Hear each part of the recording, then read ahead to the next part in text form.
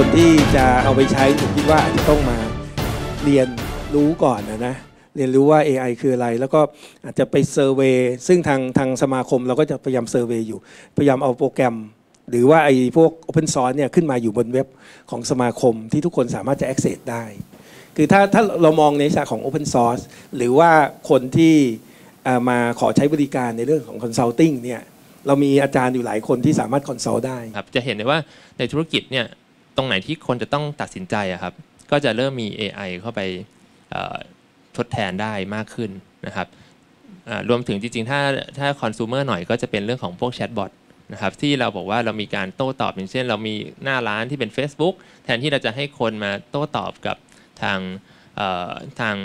ทางลูกค้าเอง แล้วก็จะให้มีการโต้ตอบกับลูกค้า โดยใช้ตัวแชทบอทนี่แหละ อย่างที่สรุปไปว่า AI ยุคใหม่เนี่ยก็จะมากับกระแส Big Data นะครับ ก็คือเรายุคใหม่เรามีข้อมูลจำนวนมาก เราจะเอาข้อมูลอย่างนี้มาสร้างความฉลาด ในธุรกิจของเราได้อย่างไรนะครับในขั้นแรกสุดเนี่ยก็คือเรา Data เนี่ยมันจะมี 2 แบบ คือแบบที่เป็น Structure คือในเป็นคอลัมน์เป็นเหมือนใน Excel เนี่ยมาเรียบร้อยแล้ว กับแบบที่เป็น Unstructure คืออาจจะเป็นข้อความหรือว่าเป็นภาพหรือเป็นวิดีโอ ถ้าเรามีความฉลาดเนี่ยเราอยากจะใช้ข้อมูลที่เรามีอยู่เนี่ยไปทำนายสิ่งใดในธุรกิจสิ่งใดที่สำคัญกับเรา ลูกค้าพอใจไม่พอใจ ลูกค้าจะซื้ออะไร หรือใครจะเป็นลูกค้าใหม่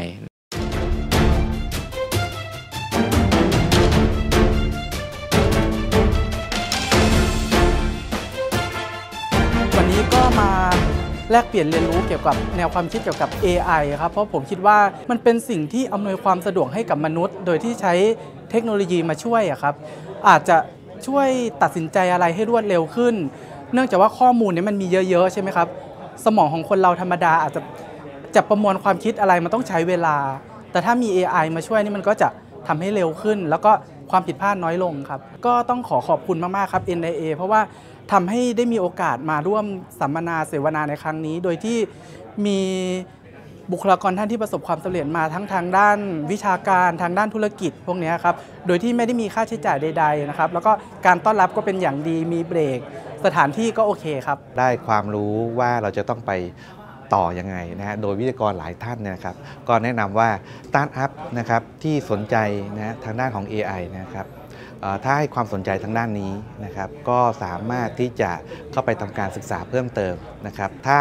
ยังไม่สามารถเริ่มต้นได้เนี่ยนะครับก็สามารถที่จะไปเรียนนะครับจากเว็บไซต์อย่าง Udacity นะครับเรียนให้ครบนะฮะตามหลักสูตรก็สามารถดำเนินการได้ครับ ขอบคุณ NIA ค่อนข้างมากนะครับ เพราะว่าเเคยเข้ามาฟังสัมมนาหลายหัวข้อแล้ว ที่ NIA จัดนะครับ NIA จัดแต่ละครั้งเนี่ยนะก็จะเชิญนะฮะวิทยากรนะครับผ่านทางกลุ่มของสมาคมนะครับที่มีความชำนาญ มีผู้เชี่ยวชาญนะครับพอมาเข้ามาฟังในครั้งนี้แล้วนะครับ ก็จะพบว่าครั้งนี้ได้ประโยชน์นะฮะเอากลับไปใช้ประโยชน์ต่อที่บริษัทได้แน่นอนนะครับ แล้วก็คิดว่าในครั้งครั้งต่อๆไปนะครับ ก็จะมาร่วมเข้าฟังทุกๆ ครั้งครับ วันนี้เขาเชิญมาเนาะเขาเชิญมาพูดเกี่ยวเรื่องกับ AI กับธุรกิจนะครับซึ่งทางผมเองผมเป็นนายกสมาคม AI แห่งประเทศไทยนะครับแล้วแล้วก็มาให้ความรู้กับอ่าบุคคลทั่วไปนะครับโดยเฉพาะอยากจะให้ความรู้ในเชิงลึกหน่อยหนึ่ง AI ก็คือปัญญาประดิษฐ์ ก็คือการที่จะทำให้คอมพิวเตอร์คิดได้เหมือนกับมนุษย์นะนะอะไรที่มันยากที่ว่าปกติคอมพิวเตอร์คิดไม่ได้เนี่ยเราทำยังไงที่จะให้คอมพิวเตอร์มันคิดได้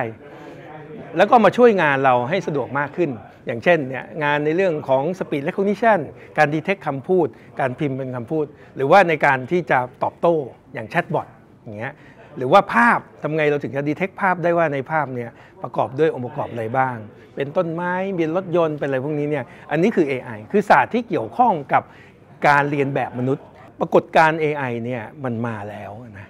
ถ้าถ้าคนไทยเราไม่เกาะกระแสเนี่ยเราก็จะล้าหลัง ในที่สุดเราก็จะต้องใช้ของเขาของต่างชาติไปตลอด หรือเราจะไม่รู้จักว่าเขามีอะไรในโลกนี้ดังนั้นเนี่ยตอนนี้ AI บูมนะผมคิดว่ายังบูมอยู่ประมาณ 10 กว่าปีเลยเนี่ยตั้งแต่นี้เป็นต้นไปเพราะนั้นคนไทยเราเนี่ยควรจะต้องรู้ AI และควรจะรู้ว่าเอา AI มาใช้ในงานของเราอย่างไรดี เพื่อพัฒนา ไม่งั้นเราก็จะแพ้ประเทศอื่น เวลาที่เราเราทำของเราก็ประสิทธิภาพก็สู้ประเทศอื่นไม่ได้นะแต่ถ้าเราใช้ AI เราสามารถที่จะขายของประเทศเราเนี่ยไปที่อื่นได้ หรือทำให้เรามีศักยภาพประหยัดอย่างอย่างเมื่อกี้มีการพูดถึงเรื่องของการประหยัดไฟฟ้าโดยการใช้ AI อย่างเงี้ยทำ demand response ต่างๆครับ แล้วก็ในปีหน้าเราก็อยากจะมีการจัด exhibition ซึ่งได้คุยกับหลาย ๆ ฝ่ายไว้ ทั้งกระทรวง ICT ทั้ง NIA ทั้ง Robot Society สมาคมต่าง ๆ เนี่ยเราได้เดินคุยกันแล้วว่าในปีหน้าเนี่ยประมาณสักปลายๆปีเนี่ยเราจะจัดงาน exhibition